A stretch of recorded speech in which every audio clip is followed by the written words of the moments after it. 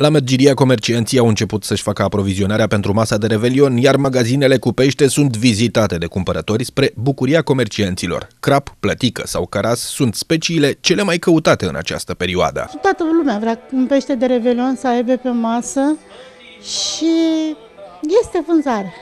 Comercianții își freacă mâinile de bucurie, vânzările au crescut considerabil, iar prețurile sunt pentru toate buzunarele.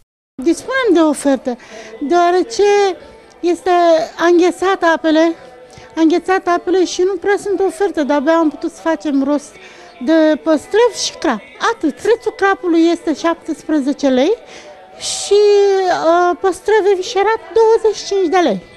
Fidel tradiției, clienții au început să-și facă aprovizionarea cu pește. Îl vor gusta la masa festivă la cumpăna dintre ani. Asta pentru ca 2017 să fie un an cu noroc.